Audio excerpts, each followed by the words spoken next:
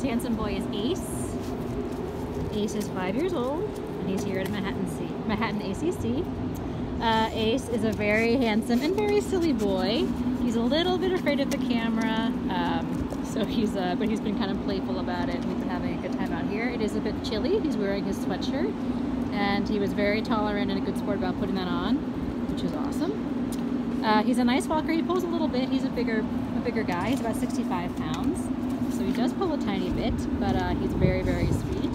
Uh, Ace is here with us as an owner surrender, and he also has been doing very well in play group. So he seems to like dogs quite a bit. We have a dog next door to us, and he was all wags when he saw her. Just wants to play. Um, he also appears to be very housebroken. He does mark a little bit, as you can see, but he did uh, all his business right away at the minute we got outside. His kennel was very clean. And he's just a sweetie. He's a silly goof, very handsome. I love that crimson coat. He is. He is. Takes his treats nicely, lots of kisses. He's just great. So Ace, you can't go wrong with Ace. Ace is number one. And Ace is here at Manhattan ACC.